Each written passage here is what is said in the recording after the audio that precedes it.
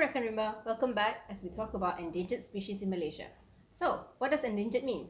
An animal or a plant can become endangered when it's threatened by extinction. Species become endangered for two main reasons loss of habitat or loss of genetic variation.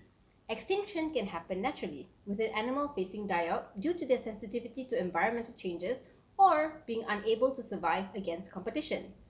Although natural forces can destroy or strain an animal population, human activities have caused a large number of plants and animals to become endangered. Human activities for economic development like agriculture, timber, mining, construction all impact the plant and animal diversity. IUCN, which is the International Union for Conservation of Nature, collects information about animals and plants in the Red List of Threatened Species. You can go online and search the inventory using an animal or a plant's scientific name. For example, Manis javanica for the Sunda pangolin. You can Google the scientific name for any plant or animal you can think of and search it on the IUCN website. The IUCN Red List ranks animals based on criteria. For instance, the Bornean orangutan. It's categorized as critically endangered, meaning the population is projected to decline by 80% in over 3 generations or 10 years. Its range will shrink down to 100 km square and the population size will consist of only 50 individuals. Let's explore some of the many endangered Malaysian plants and animals listed on the IUCN Red List. The Belian tree is known as the Borneo ironwood and is a protected species here in Malaysia. The slow-growing tree can grow up to 50 meters tall. This is the same height of the towers on the Penang Bridge.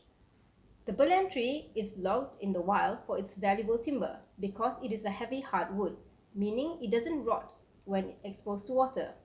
It takes a long time to grow a Belian tree, and growing it in logged over forests is limited because the supply of seeds and seedlings are not available. The Belian tree is vulnerable on the red list. The Merbau tree is also vulnerable on the red list and was declared the national tree of Malaysia last year. The Merbau is a semi-hardwood tree that can grow up to 50 meters and found in sandy areas of flood zones. The Merbau has an extensive root system and some roots grow above ground as buttresses to overcome windy conditions and flooding. The Merbau is termite resistant and is logged for its use in furniture making. So if you're in Kuala Lumpur, you can visit the Forest Research Institute of Malaysia in Kepong and walk right up to a mature Belian or Merbau tree. Lowe's paphiopedilum is a beautiful orchid which is listed as an endangered species due to its limited growing area. The rare orchid is green, brown and purple. It grows on tall trees between lowland and low montane areas. It clings onto mossy boulders or nooks filled with leaf litter.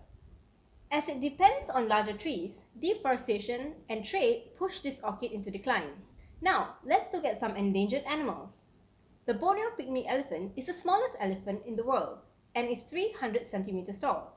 It eats about 150 kg of plant material every day from over 180 plant species, including bamboo and grass. It is ranked endangered on the red list as they are threatened by forest clearing for agriculture and timber. As their roam range is reduced due to these human activities, they face another threat called human-animal conflict, where these elephants are seen as intruders to human space and unfortunately in certain areas they get poisoned or shot. The traditional natural habitat for the elephants uh, are obviously the rainforest but because of our activities, you know, we did timber extraction and then after that we convert this area into monoculture landscapes. Most of the time people claim the elephants comes and attack their crops and because of that uh, people would retaliate by, you know, either poisoning or uh, shooting the elephants. The river terrapin is a freshwater turtle and lays its eggs on sandy banks by the river or beach. They spend time in estuaries, mangroves, rivers, and coastal lagoons. They are omnivores, but mostly eat vegetation like mangrove roots and river grass, along with some fish and crustaceans. Ranked as critically endangered, river terrapins are threatened by poaching, sand mining, damming of rivers, and agricultural runoffs. The dugong, also known as the sea cow, lives along our coastal waters, where meadows of seagrass, their main food source, is available. They can grow up to 400 centimeters long and weigh up to 400 kilograms and live in small herds. In peninsular Malaysia, dugongs are largely found in the southern states of Johor. They can also be found in the waters of Sabah and Sarawak. Ranked as vulnerable, dugongs are threatened by accidents by boats. land reclamation, marine pollution, and extreme weather. The Malaysian tiger lives an isolated life quietly moving around in the thick jungles of Peninsular Malaysia. It hunts wild boars and barking deer besides sun bears and young elephants by taking advantage of the thick undergrowth in the forest. The Malayan tiger is one of the smallest tiger species in the world and its population is shrinking at an alarming rate. Ranked critically endangered, the Malayan tiger is currently facing extinction due to poaching, forest fragmentation, and canine distemper, a fatal disease that has recently been causing many deaths. Besides habitat loss and poaching, some of our Malaysian animals are under pressure by wildlife trade. The Department of Wildlife, known as Perhilitan, is the authority in clamping down on this activity. In the last year, many rangers, police and military exercises, as well as seizures, have been launched to curb poacher and wildlife traders. Starting from legendary folk stories and beliefs, animal parts have been used to make traditional medicine or show strength and status. Some of our Malaysian animals that are most traded include the helmeted hornbill for its casque, clouded leopard for its skin, teeth and meat, the sun bear for its organs and paws, and the pangolin for its meat and scales. Today, the animal trade spans the globe, and the Convention on International Trade in Endangered Species of Wild Fauna and Flora, CITES, aims to ensure that international trade in species of wild animals and plants does not threaten species survival. You are doing your part by learning about endangered animals and plants, while many adults who work in conservation, enforcement, and education are actively championing the safety and protection of our Malaysian species. Learn more about our Malaysian animals, biodiversity, and ecological services by following our Rakan Rimba online classroom. So now we've come to the part where we'll be drawing the second portion of our diorama. Today we'll be drawing a monkey cup and a forest herbaceous plant. So grab your pencil and the papers you cut yesterday and join me in the next section. Okay, now we're going to draw the monkey cup plant. So to start, I'm going to draw five monkey cups to uh, create a focus of where the plants, the leaves all need to be. Okay, so the first monkey cup I'm going to draw is down here. That's the mouth. And that's the body. and this is the cap of the monkey cup so it doesn't look like much now. Hang on. Let me keep going. The next monkey cup is going to be about here.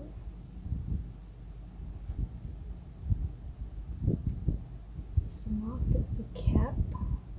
The monkey cups have this vine that holds it out and it's usually attached to the tip of a leaf. But what I'm going to do now is I'm going to draw another monkey cup here so you can't actually see the one that was drawing just now.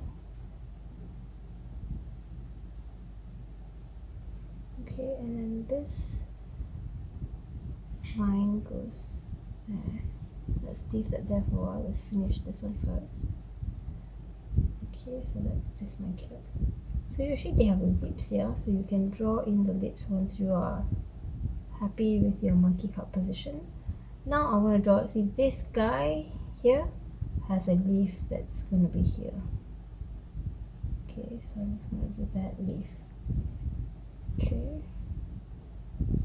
Yeah or maybe I'll make that leaf a little bit longer. I'm going to make that leaf here.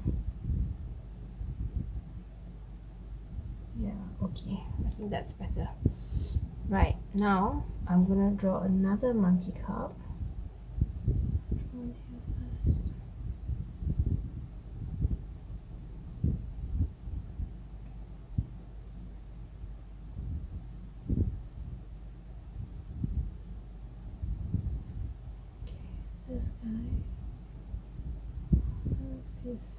vine come off from the back like that. Then I will draw a leaf here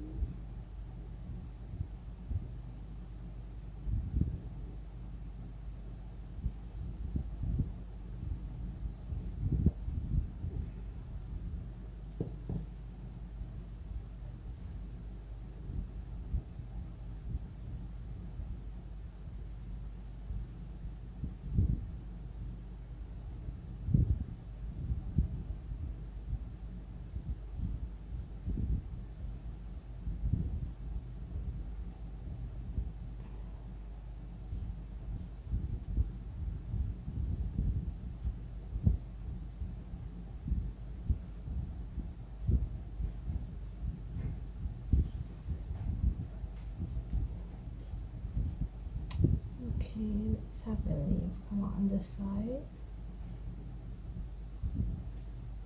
Okay, that's not so nice. Let's redo that.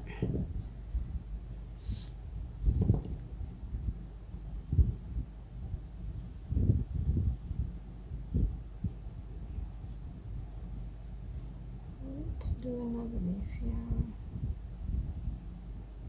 So I want to have bigger leaves in the front.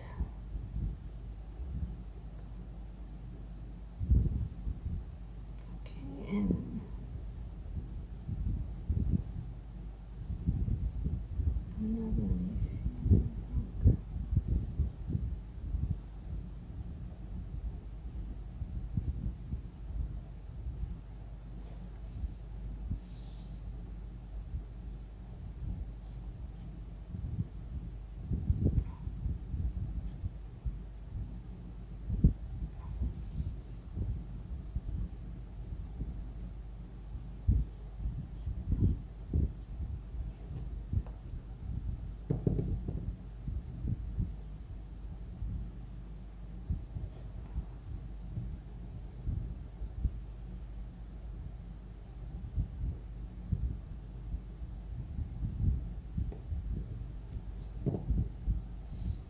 Okay, so I have one, two, three, four, five monkey cups there. Now I need to draw a leaf that goes this way.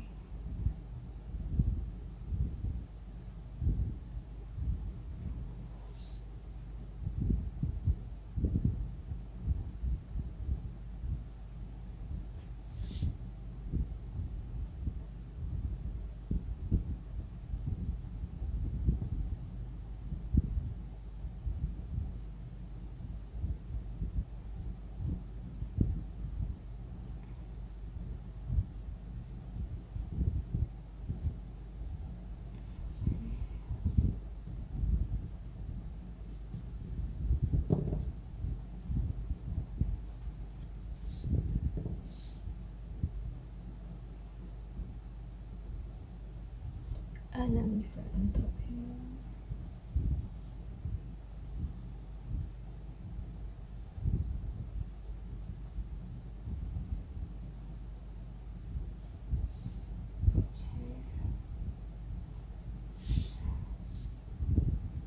Let's do one more here.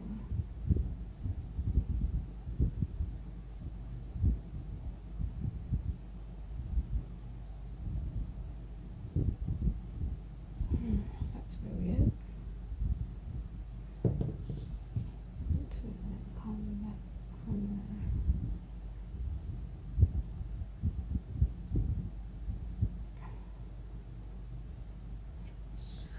Okay, so now do we have enough leaves or should we do one more? Let's do one more. Let's do one here.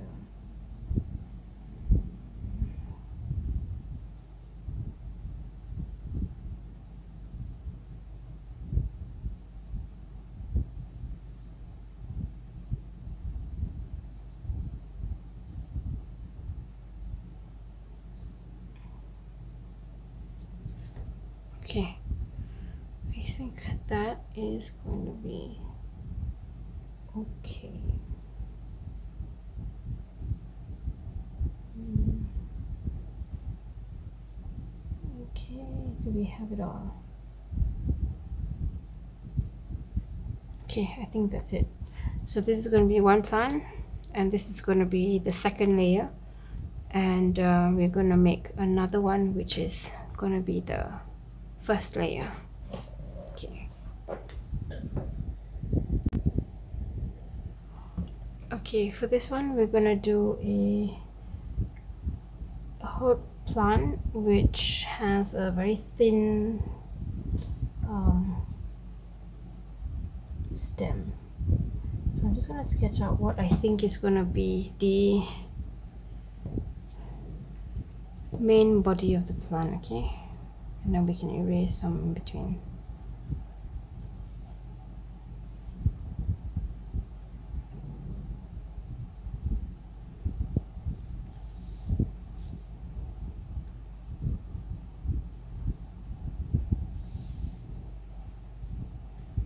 Okay.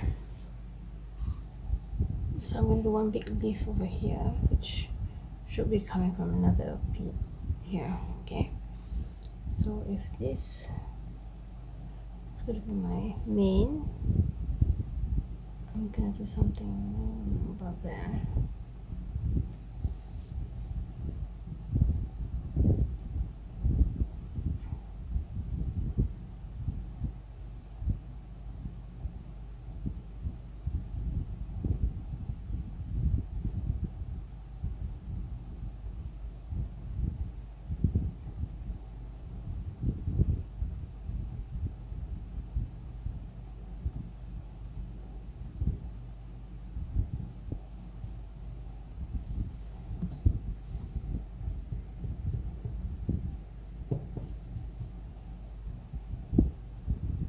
this leaf is going to be uh, facing downward okay?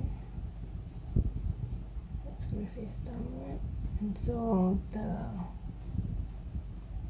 veins will show that it's facing downward. Then it has a stem. And I'm going to put some hmm, seeds I'm going to make a stem here so that I can have the flowers. Mm, maybe the buds here.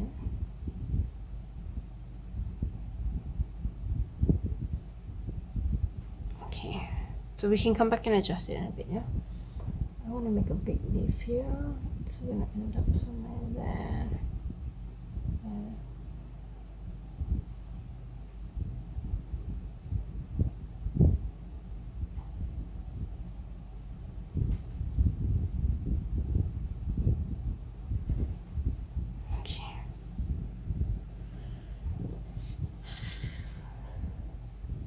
So I'm just adjusting the shape as I go because I don't really have a feel of how I want to form it yet until I see in contrast. So I kind of like that shape. So I want the veins again. Okay, so that's two leaves. And I feel like there should be another big leaf here coming up somewhere there. Hmm. So that you know it's really close to us.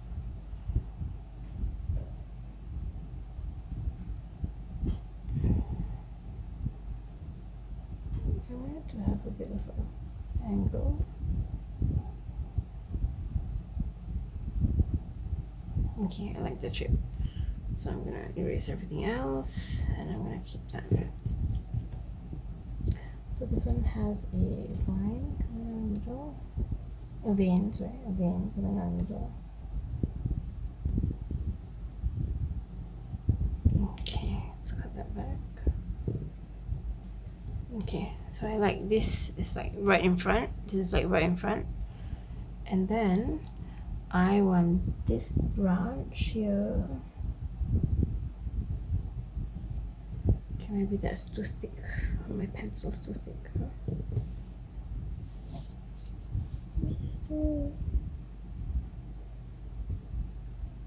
Okay, and then I want to make this part here, this part here, a, cent a focus point. So I'm going to draw a small leaf there in the same direction as this. I'm going to go one leaf on the opposite side okay so we do we want to see the leaf or do we not want to see the leaf? Let's see the leaf okay? Let's imagine that that leaf is in front of this big leaf. So let's erase that a bit. And let's carry this leaf here. And back. Okay so it's this leaf is in front and then it's like this second one that's the third one. So this one's right in the back. Okay so if we did that then our veins must come out right there. Okay. This guy here also has a vein. So usually the vein of the say this is the leaf the vein the main vein and then all the small veins link into that main vein.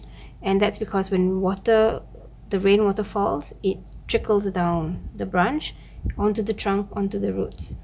So that's why you see veins are always uh, giving you a sense of the direction of the plant. Okay, so one, two, let's do another one so that we can fill this space a little bit.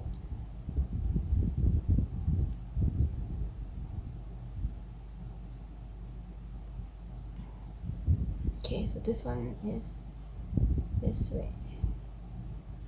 Yeah, so we've got three here.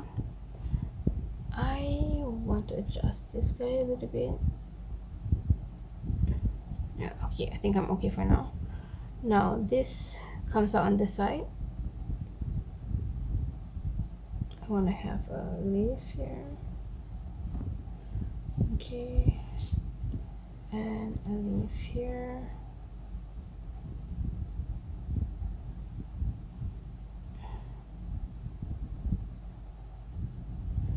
Okay I want to have another leaf here.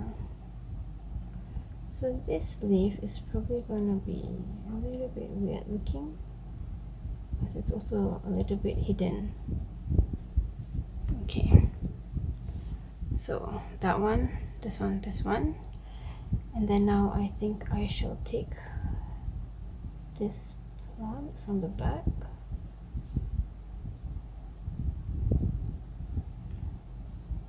let's make a cluster here yeah.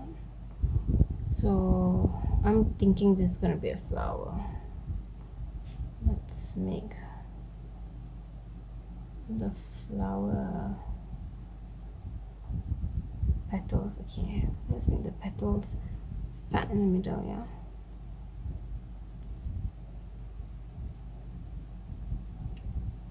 Yeah sometimes the flower petals do look very similar to the leaf but the idea is to always um, differentiate the way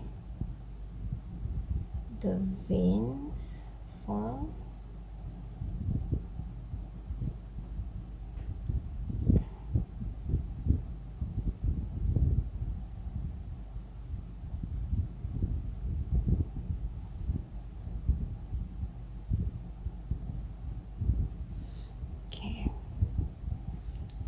that one. I this stem needs a leaf. So let's put the leaf here since there's a gap.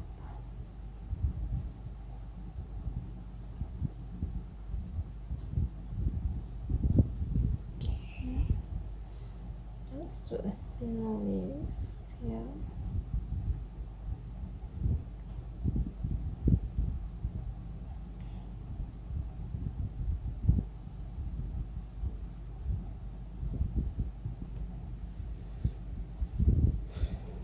okay let's do this one now. So I want to keep going up and then this one's branching out from here.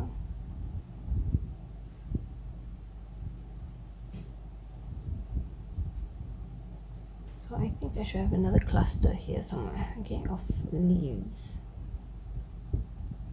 Or a flower. Mm, let's do a flower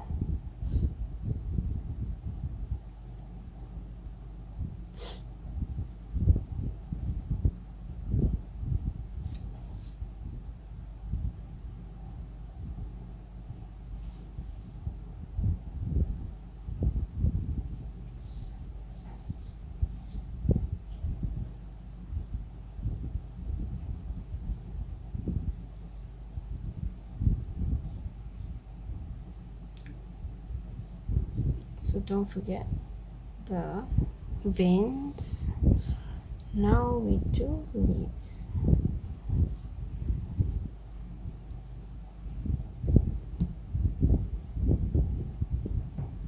so see the bigger ones now feel closer to us and then the smaller ones feel further from us. Okay um, let's do more leaves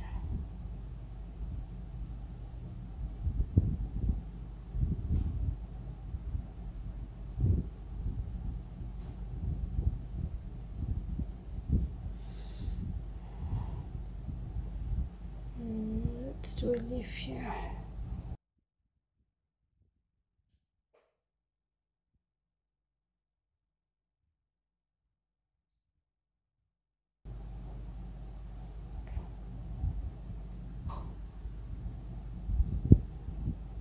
Okay.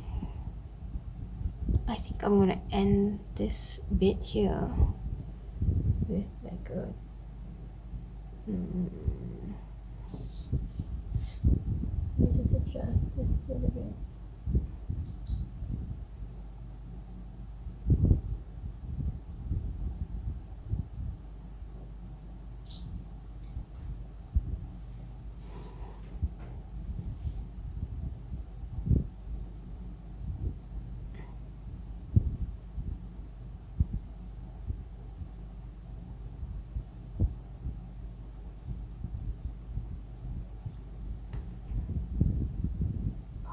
Plant that would be on the forest floor. Okay, so we've got a cluster of berries there, a young flower bud, two flowers, possibly flower buds there. There you go. Alright, so now we've got, got two bits of plants and we've got our animals right? So I'm gonna start cutting them.